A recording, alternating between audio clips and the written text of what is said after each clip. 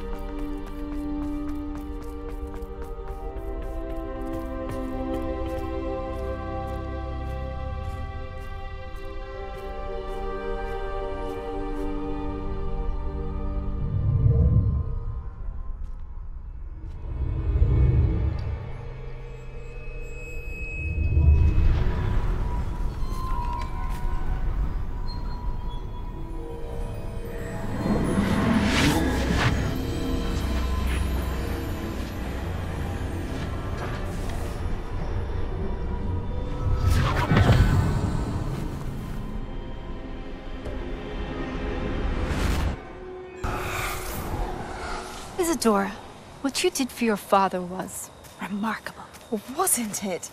And Percival needn't worry about the strands of emotion or the traces that this magic leaves. I found a way to contain all of it. You haven't stopped. Goblin Silver. You spoke to a goblin about this.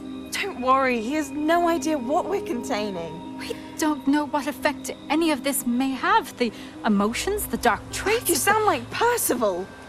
And as it happens, I do know. It is a source of strength, of focus. Somehow it enhances my ability to wield magic. I don't follow, Isidora. I think we can harness it. Power like this is not to be toyed with. In the wrong hands, it saw can- what I did for my father. Oh, Niamh, imagine the good we could do. Everyone is in some kind of pain.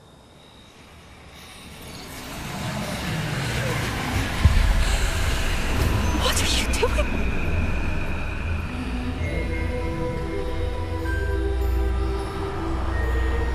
Breathe it in. Oh, can you feel it? Oh, Isidora. This must stop. All of it. You've kept this power to yourselves for so long because you fear it. I choose to embrace it.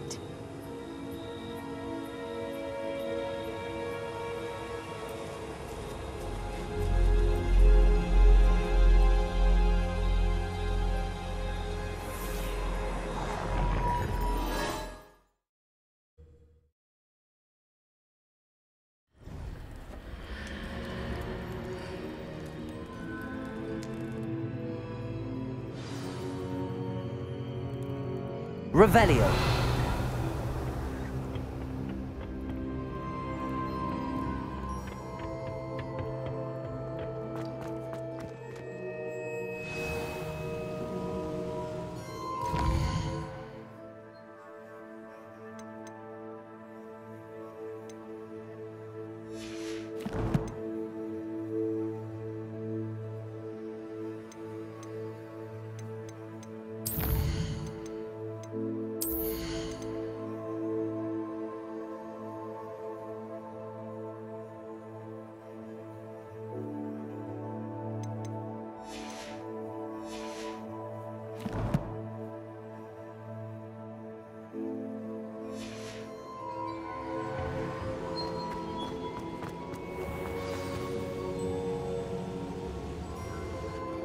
Is it true?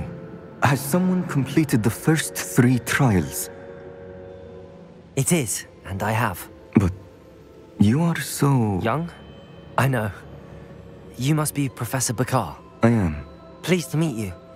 The Pensieve memory I just witnessed. Was Isidora inhaling painful emotions? She was. I found it disturbing. How did she gain power from it? How did she harness it? It was disturbing. Although I wonder that you are asking about her power.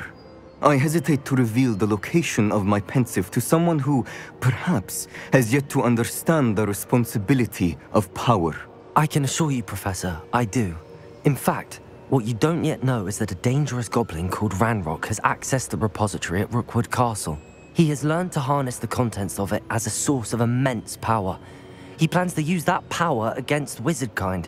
We have no time to waste. I see. Nonetheless, the knowledge you shall gain after you witness my memories is too valuable to share without further consideration. I shall require time to confer with the other keepers. It seems we have no choice but to wait, frustrating as it is. I heard what you told Professor Bakar. Isidora was inhaling emotions to gain power? She was. And she pulled emotions, as she did from her father, from Professor Fitzgerald, without permission.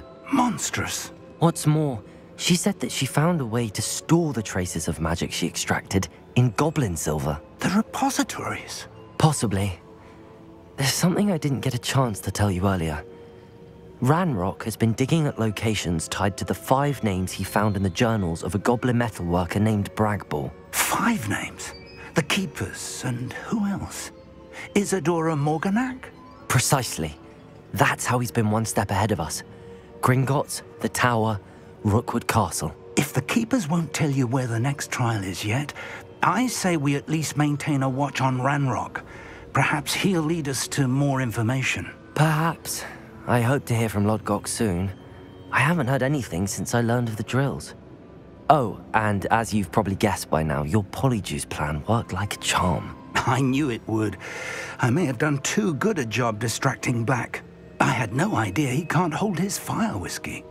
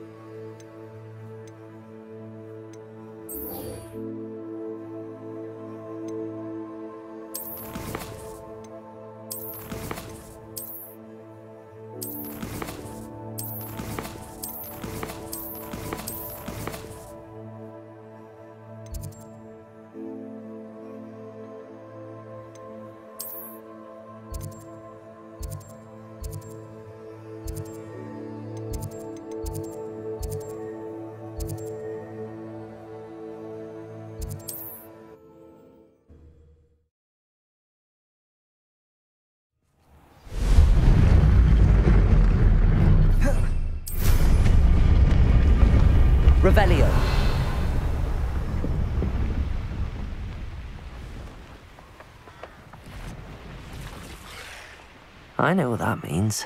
Merlin trial.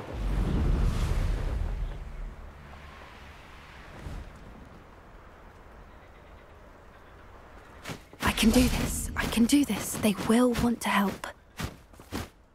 Is this where we're meeting the centaurs?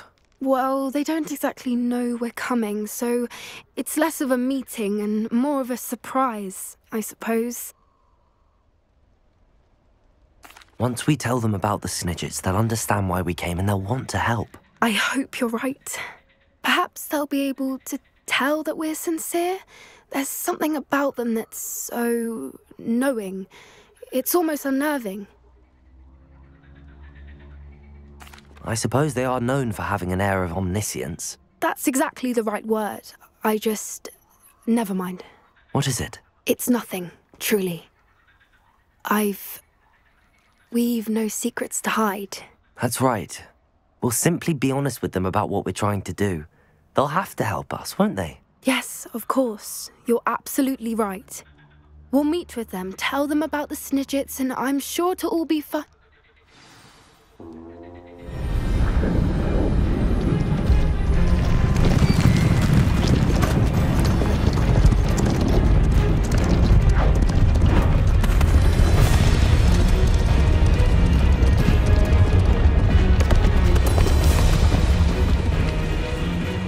fine. do you think you're doing here, humans? Please! We were hoping to speak with you. Ah! I suppose you'd like a tale for your friends of the time you spoke to a centaur, and it spoke back. No, never. We're here because we need your help. Enough! You made a grave error in judgment in coming here, little witch.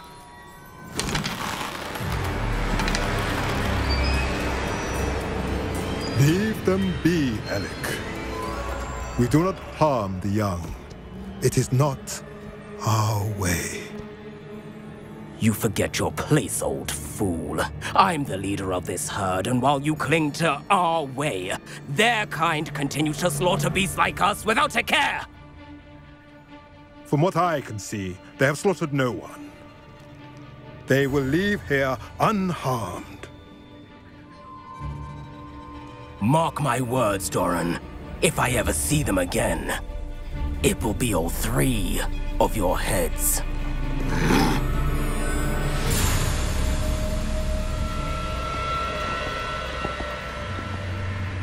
Foolish children. Do you know what happens to wizards who wander here? Now, follow me before Golden I... Snidgets are still alive, and the poachers are after them. They know that the key to finding them lies in the moonlight, but they don't know what that means, yet.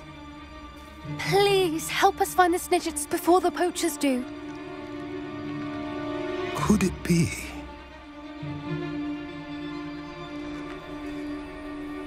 In the south, there is a cave within which lies what the poachers seek. A moonstone. Retrieve it and place it in the henge in the forest. I, on the other hand, must go speak with the herd. Find me after you have done this.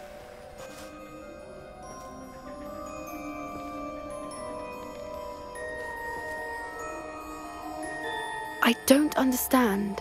So the moonlight mentioned in the journal doesn't refer to actual moonlight, but to a moonstone.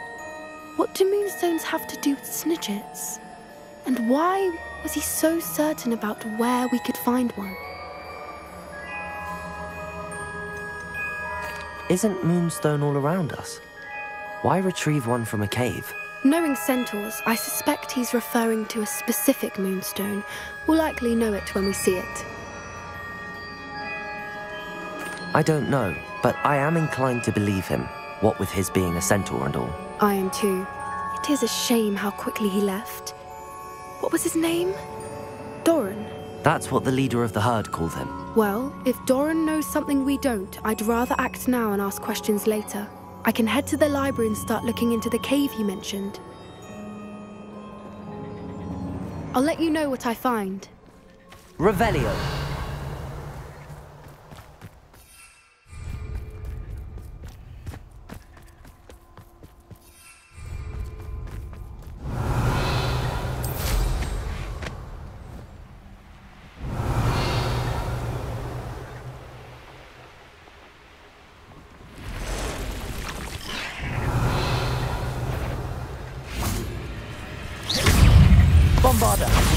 Confringo.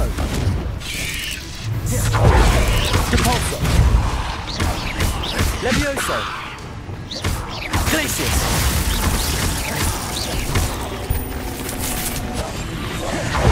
Accio. Confringo.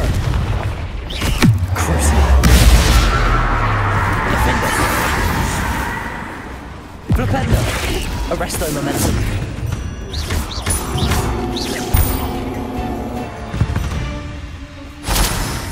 Not my fault you're a deadly great spider.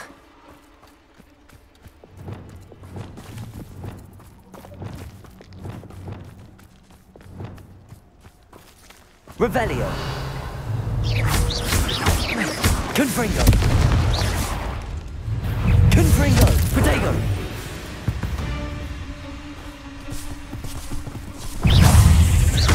Levioso. Accio. Glacius.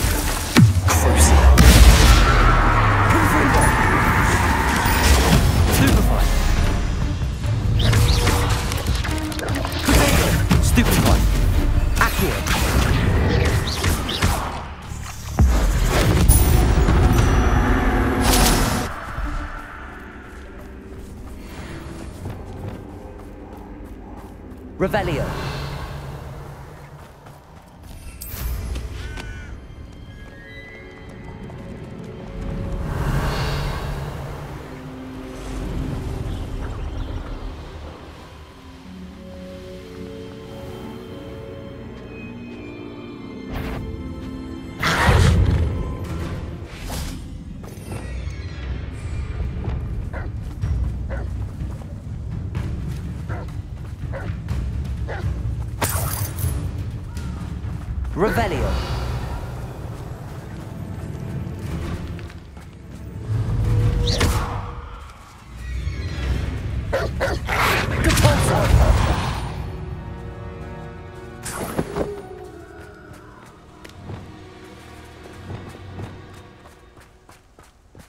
Revelio.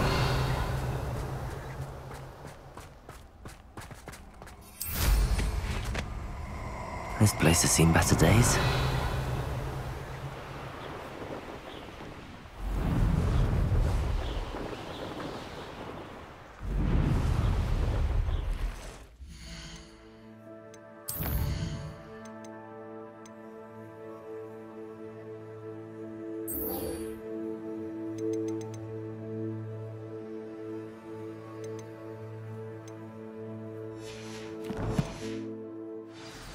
Revelio.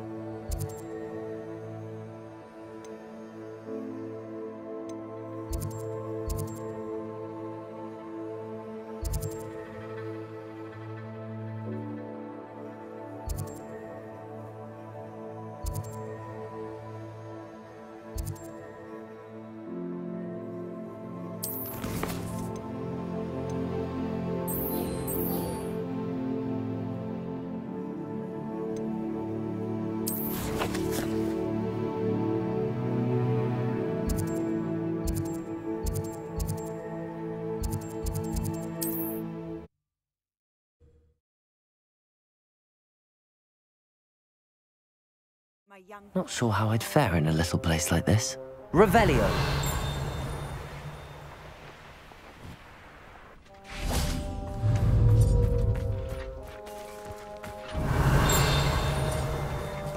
Bombarda.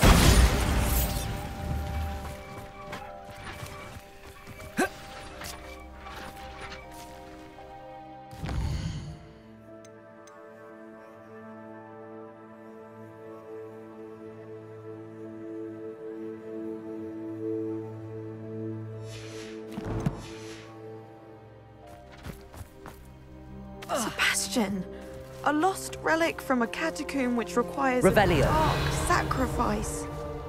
I know how it sounds, but if this can help you, it's worth the risk. Does Ominis know about this? He helped find the scriptorium where we discovered Slytherin's spellbook. Very well. If Ominis will be there, I'll meet you. We don't have much time. Solomon wants to leave Feldcroft. What? Leave? Never mind. You need to stall him. Buy us time, Anne. Please. I shall do my best. I'll be in touch. Solomon can't take Anne from Feldcroft. Where would they go? When would I see her? Sebastian. I can't believe my uncle wants to leave Feldcroft. Anne's going to stall him. She must. We need time. Time? For what? I've learned more about the relic. I cross-referenced Slytherin's spellbook with everything in the library on relics and dark sacrifices. That's when I realized something. I believe the relic will only work inside the catacomb.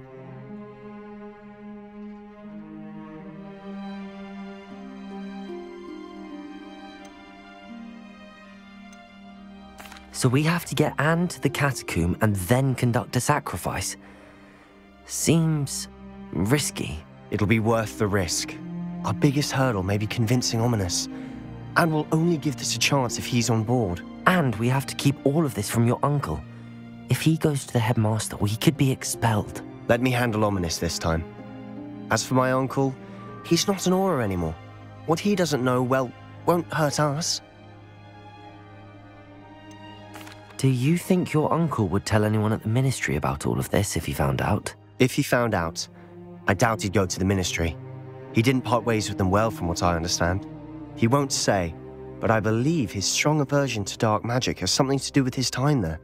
Anne thinks he once decided to fight fire with fire, so to speak, and resorted to using an unforgivable curse and fight against dark wizards. At least that's what she thought she heard. When he realized what his job had led him to become, he left rather abruptly.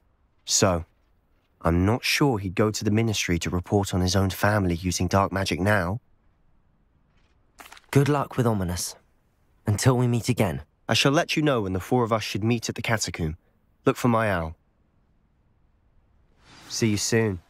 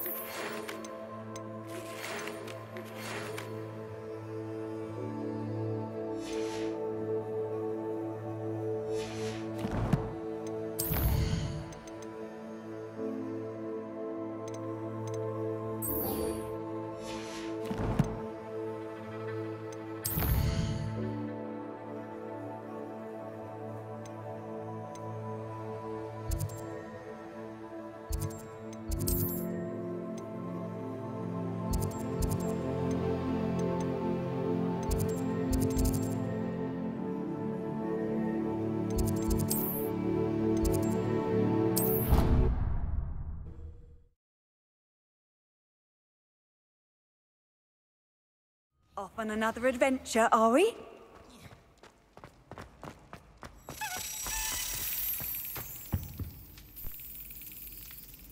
Ah, I have been meaning to speak with you. I still can't believe we escaped the Ashwinders. You may not realize it, but you are the talk of the school since you saved me that day. I wonder how everyone knows about it.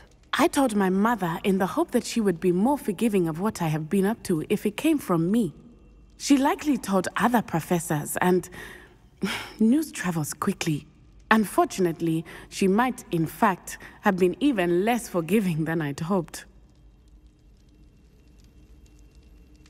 If she knew more about what you've done, I suspect she'd be proud. If she knew any more about what I've done, she would never let me out of her sight again. I'm sorry.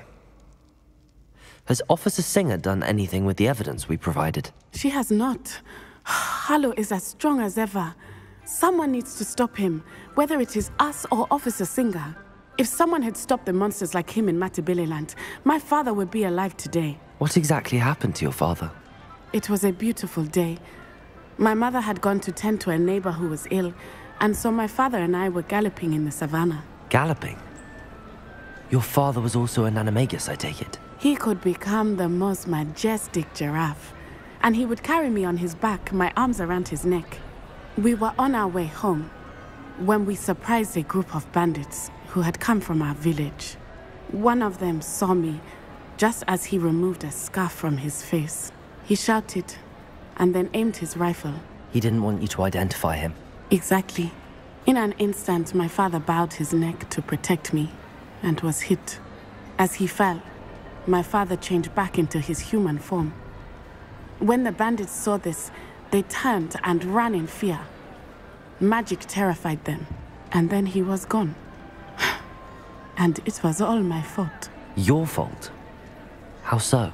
He died protecting me. If I had been capable of protecting myself, he would still be alive today. My mother and I tried to go on without him, but it became too much for us there. A few years later, we left to come to Scotland. Do you think taking down the Ashwinders will avenge your father's death? No. Vengeance is not what drives me. My father would not want that. He and my mother raised me to believe that it is a privilege to be able to fight for those who cannot. I know there is risk involved, but I feel it is worth it. I am glad you seem to think so too. What does your mother think about all of this? Well, as you saw, she worries a great deal. She is an excellent seer, but I think it bothers her to this day that she did not see my father's death coming. She misses him, as do I. So I believe on some level she understands my need to seek justice in a small way. But that does not mean that she likes it. Do you think your father would approve of the things we've been doing? Oh my, that is a good question. In theory, yes. Although he would worry as my mother does. But I think he, of all people, would understand my persistence. My father never shied away from a fight for good, no matter how ruthless the foe. And I think he would have enjoyed knowing that I had a compatriot like you. I'm sorry, Natty. I can't imagine what you've been through. Your father sounds exceptional. He was. Truly extraordinary. And thank you for your kind words. We all have our burdens. My father had a saying about that. Yes, I remember. Rain does not fall on one roof alone. Exactly. Soon you and I will put an end to the Ashwinders, beginning with Harlow. And once he is gone, we will turn our attention to Rookwood. We are making progress, and we will succeed. Thank you again for saving me. You deserve all of the praise you have received.